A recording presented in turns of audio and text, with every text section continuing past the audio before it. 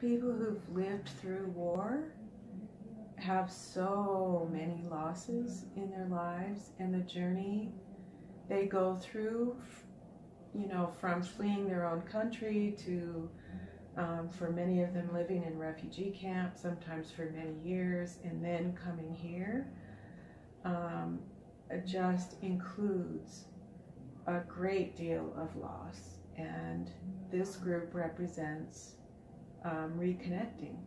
So um, it's really important in the healing process for them to reconnect with other human beings and other human beings who aren't going to hurt them or hurt their family members, where they can build trust and some sense of belonging. And um, so it really is an integral part of the healing process for people who've been through traumatic experiences.